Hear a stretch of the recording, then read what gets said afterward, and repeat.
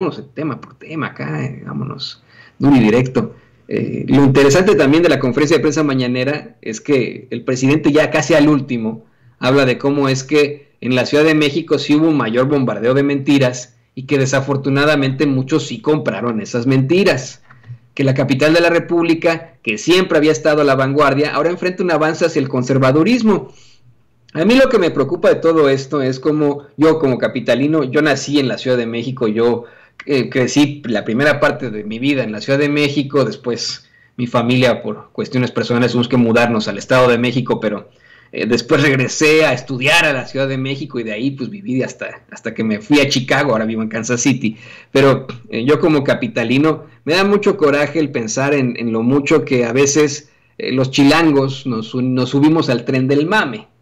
No sé si se acuerde de Spencer Tunick. Hace ya muchos años, cuando Spencer Tunick fue a México, no se esperaba la cantidad impresionante de chilangos que fueron a, que le les tomaran fotos encuerados ahí en el Zócalo Capitalino, ¿no?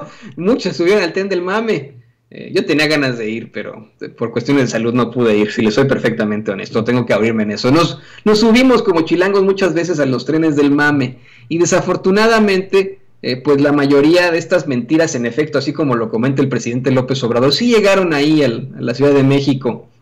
De hecho, eh, si usted lo ve de esta forma, acuérdese, comenzaba la, eh, la, pues, las elecciones y ¿qué pasaba? Usted prendía la radio, estación en la que usted escuchara, hablando pestes de López Obrador, ¿no? La verdad, así, pero pestes de López Obrador. También cuando ocurre... Y otra cosa interesante, ocurre la tragedia de la línea 12, que es una línea que llega a Tláhuac, usted lo sabe perfectamente, y se, trata de, obviamente, de poner, de acercar, de, de, enjaretar esto al gobierno de la Cuarta Transformación, a López Obrador, a Claudia Sheinbaum, etcétera. Y en efecto, desafortunadamente, en las elecciones se divide a la ciudad en dos fuerzas políticas eh, que vemos en, y, que, y que han utilizado de la forma más desafortunada para memes clasistas y racistas, vemos esta, esta conformación y lo que llama la atención es que con todo y que la tragedia ocurrió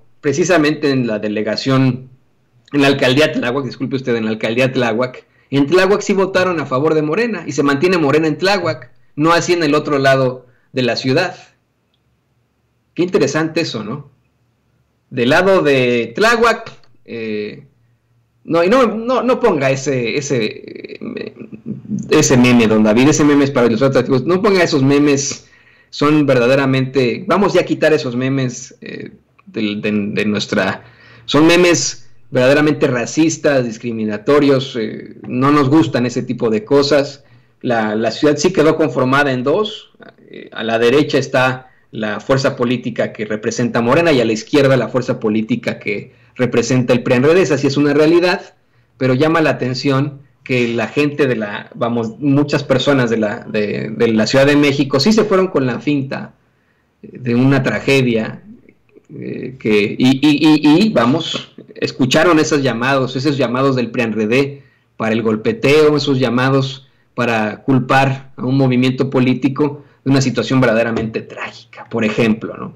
O de todo lo que plantearon estos eh, eh, pues estos sujetos desde los medios de comunicación tradicionales. Usted le pone en Televisa, en TV Azteca, en Imagen, en Milenio, etcétera, y era tiro por viaje, todos los comentócratas eh, hablando mal de López Obrador, hablando mal de Morena, hablando mal del gobierno, hablando mal de la cuarta transformación. Insisto, yo no me considero pues afina una u otra cosa se lo estoy dando a conocer como con esta verdad, con justicia. No estoy defendiendo a López Obrador o la cuarta transformación, a Morena, sino la verdad. Aquí esta es, esta es la verdad. Ellos sí actuaron de esa forma, con puros golpeteos.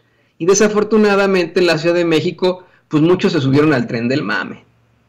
Pero quiero hacer esa aclaración. Fíjese cómo es que eh, uno de los discursos de la ultraderecha fue que era culpa de la cuarta transformación la tragedia en la línea 12 del metro.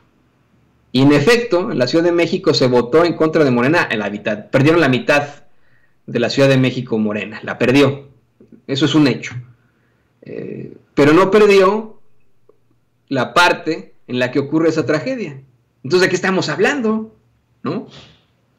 ¿De qué estamos hablando?